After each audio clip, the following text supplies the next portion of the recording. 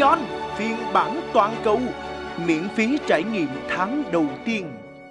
Thành thường làm MC các chương trình tìm kiếm tài năng trẻ Việt Nam. Điều gì khiến anh nhận lời làm MC chương trình Anh trai Say Hi? Ở đầu tiên là vì nó mới, bởi vì Thành luôn thích làm những chương trình mới và Thành luôn tìm kiếm những cái gì đó à, nó khác với ngày hôm qua. Vì mình làm là cái gì mà mình đã làm rồi thì nó hơi boring. Cho nên thành luôn tìm kiếm những chương trình mới. Và đặc biệt chương trình này là một chương trình hội tụ rất là nhiều những bạn trẻ đẹp tài năng văn minh thông minh lực lượng cao to. Thì không có lý do gì mà thành không tham gia bởi vì mình cũng là một trong số đó. Mình cũng là một trong số đó. Anh có điểm khác biệt nào so với những chương trình mà anh từng tham gia những chương trình? cái điều đầu tiên là mình sẽ thấy là cái chương trình này là toàn nam lần đầu tiên tại Việt Nam có một chương trình là toàn nam. Toàn là những bạn tinh tuyển kiếm các bạn từ khắp mọi nơi. Rồi để các bạn sinh hoạt chung để các bạn cùng nhau phấn đấu để uh, vượt qua những đồng đội của mình để tạo ra một cái team cuối cùng năm người tốt nhất. Giống như là Avengers cho đó thì thành thử là thành thấy là nó rất là thú vị. Oh baby.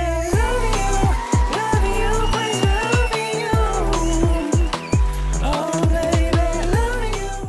và nó là một cái game uh, reality show mà nó mang tính vừa giải trí uh, vừa hấp dẫn và đặc biệt là nó còn có tính chuyên môn nữa tại vì có âm nhạc nữa có uh, giám đốc âm nhạc nhúng tay vào thì thật tin chắc là những bài hát chắc chắn sẽ những bài hát. Để giúp khán giả hình dung rõ hơn về lực lượng các anh trai trong chương trình theo chấm thành, họ sẽ có những tố chất gì? à, mình nghĩ là đã là anh trai thì cái tài năng cái tiềm lực nó phải đi đôi với cái sắc đẹp đúng không thì à, phải hát hay nè phải nhảy giỏi rồi phải biết sáng tác nữa phải có thẩm âm tốt nữa và phải có teamwork tốt nữa. À, những yếu tố nào của chương trình sẽ giúp chương trình dễ nhận được sự ủng hộ và yêu thích của khán giả? à, đầu tiên là chúng ta thấy là tất cả đều trẻ đúng không ạ? À, mọi người đều trẻ cả ai cũng trẻ cả tôi cũng vậy. Năm nay tôi khoảng 18 19 tuổi thôi. Thì à, mọi người thấy rồi đó cái gì trẻ mà nó không mang đến sức sống đúng không ạ? Và mọi người đều đẹp rồi nó thấy tất cả các mỹ nam trong chương trình các anh trai đều đẹp. Vâng tôi cũng vậy. Tôi thấy tôi cũng còn đẹp mà. Thì à, mọi người đều có tài nhé. Mọi người đều có tài. Tôi cũng có một chút. Đấy thì tôi nghĩ là hấp dẫn chứ. Show đầu tiên mà chị em phụ nữ bắt đầu thét lên. Nói chung là tôi nghĩ là cái này sẽ là một chuyến bùng nổ trong năm nay. Mọi người nhớ đón xem nha. À, anh hãy nêu tên nhân vật mà anh trông đợi trong đội hình.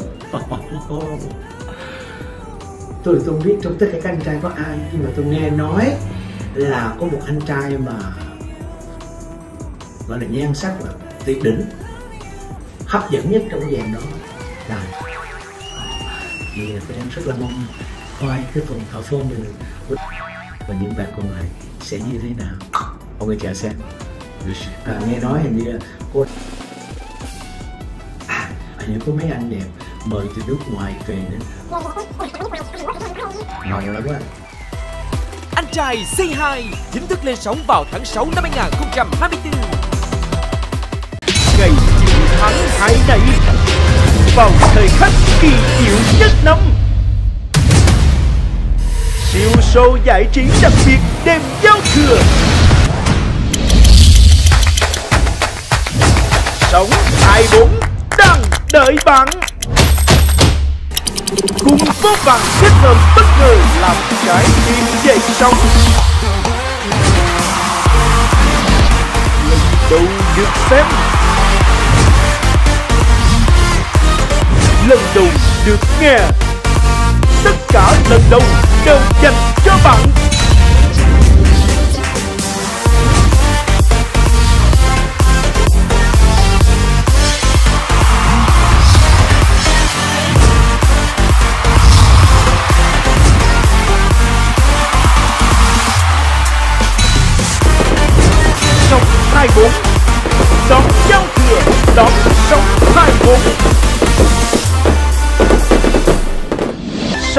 24 Đón giao thừa Đón Sống 24 Xem sớm nhất trên Vion Và trên kênh HTV2 V Channel. On V Giải trí On V Dramas. Tôi sẽ cho ba đứa em của tôi nó trải nghiệm. Cái nỗi khó của diễn viên hài bằng cách là mỗi em ơi hãy thể hiện một chút tài năng mc của mình kể một mẫu chuyện cười đi nào. Quý vị thân mến đêm dần khuya. Và miếng của chúng tôi cũng dần lạnh theo thời gian. Các em à đến với sống 24 tụi em là những người làm mưa làm gió trong năm qua mà tụi em không làm được điều này thì bèo quá. Như vậy là anh là muốn tụi em làm không khí của trường quay thêm lạnh. Em ơi người ta không mời tụi em đến đây vì sắc đẹp đâu em à. Wow. hãy thể hiện sắc đẹp của trí tuệ đi nào. Ba cái thử thách này ờ, cũng hơi khó với em nha. Thì em thôi. là đàn anh em vẫn ờ, mở, mở màn đi. khó vậy. Đúng rồi thì thôi bây giờ em sẽ kể một mẫu chuyện về cái sự lạc quan vượt lên nghịch cảnh của chúng ta. Nó xảy ra hàng ngày cuộc sống mà chúng ta không hề hay biết. Ví dụ như khi chúng ta còn bé mỗi dịp xuân về mẹ hay nói là tiền lì xì của con để má cất giùm cho. Ừ. Khi đó chúng ta hiểu là tiền của chúng ta vào tay của mẹ chúng ta. Đúng. Đó là một điều đúng đắn. Đúng. Và thường khi đó chúng ta sẽ tự nhủ trong lòng rằng làm con phải hiếu. Dần dần lớn lên thì chúng ta bắt đầu đến với lại công việc làm ăn. Đúng. Ừ. và chúng ta sẽ gặp một nhân vật thứ hai cùng cỡ mẹ chúng ta.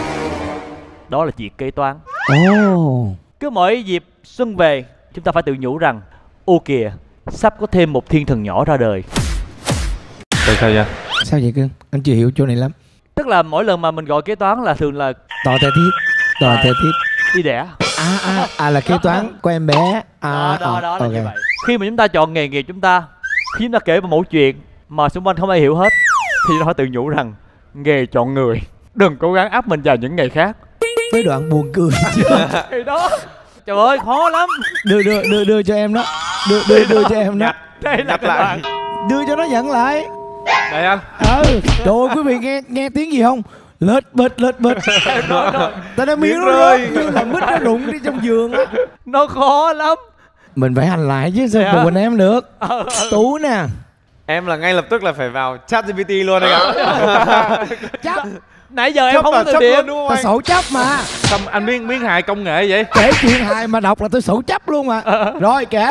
Một hôm chú voi và chú chuột quyết định tổ chức một bữa tiệc lớn. Chú voi làm đầu bếp trong khi chú chuột giữ vai trò làm MC hợp lý. Đến lúc bữa tiệc bắt đầu thì chú voi đưa ra một đĩa rất lớn đầy bánh ngọt và nói Đây là bánh ngọt ngon nhất thế giới Mọi người cứ thoải mái mà ăn. Nhưng hãy nhớ, chỉ ăn một lần duy nhất Ai ăn thêm phải đối mặt với hậu quả kinh hoàng. Mọi người đều thấy đồng lòng và chỉ ăn một miếng bánh. Tuy nhiên, có một chú chuột đã ăn thêm ba miếng bánh.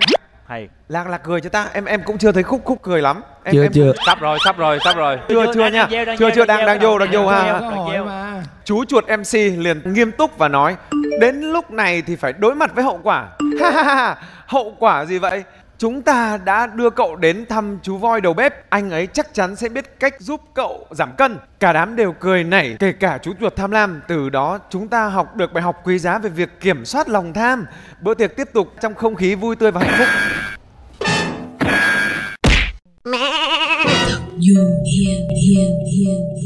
Anh, cái miếng này nó rơi xuống lòng đất rồi anh dưới rồi. Không không, Ôi. không. Nó là under đào lên hộ anh Cái- cái cái em ơi, không máy xúc ra chưa? Em lấy máy xúc không? Máy xúc nhá. Ok anh anh anh bâng cái lên. này nó thuộc về băng đăng nhưng mà nó thuộc về băng băng đăng ấy. Biết không? Biết băng đăng không? Lạnh lắm. Eo ơi em em có nickname chưa? Em chưa. Đặt nhá. Đặt luôn này. Elsa nữ hoàng băng giá. Sao lạnh thế? Khó lắm. Hoàng tử hoàng tử băng giá bây giờ nè thôi em hy sao vọng mà đi. chuyện cười gì mà dài thế? Bây giờ gọi là lớp già là không không ổn nè. Lớp trung niên không ổn. Lớp trẻ. Lớp trẻ nha, lớp trẻ nha. Hy Em vọng niềm vô hy em. vọng của gia đình Anh đặt hy vọng sai chỗ rồi. Anh tin em hiêu đi học là người ta cũng thử thách ờ, kể chuyện hề giống vậy á. Xong rồi em em kể không ai cười hết trơn á. Nhưng bây giờ là cười xong này, rồi em bây giờ em, em cười. phải giả bộ em sặc nước để cho nó nó hề á. Bây giờ em đẹp trai em làm gì đâu anh cười trơn rồi. Cười bất chấp bây giờ em đói miếng Cố cười lắm rồi. Ủng hộ bằng mọi cách đó cho anh dễ dãi lắm. Ủa? Gì vậy? Ủa gì vậy? ok ok. Ráng đi lấy 2 triệu. à chịu hả chịu ráng cười lấy 2 triệu. À, Được, được, được, được, ok, ok, được được được. Phải lấy chứ sáng giờ không có đồng nào hết hồi xưa ở một cái lớp học đó cô giáo mới ờ, giao một cái bài tập cho mấy bạn nhỏ là mấy em hôm nay về nhà hãy tô màu. Cái con vịt cầm cái dù này con vịt mình nên tô màu vàng còn cái dù thì mình tô màu xanh. Tới lúc nộp bài lên ai làm cũng đúng hết trơn chỉ có mỗi duy nhất một bạn lâm thôi. Bạn lâm làm sai. Ly dừng bảo lâm đó. Ổng chứ ai anh? Rồi rồi, thấy công chuyện rồi cô giáo mới hỏi là em lâm tại sao cô đã dặn như vậy rồi mà em lại tô con vịt màu xanh? Em đã thấy con vịt màu xanh bao giờ chưa cái lâm mới nhìn cô giáo một hồi suy nghĩ mới nói với cô giáo là chứ cô thấy con vịt nào cầm cái dù chưa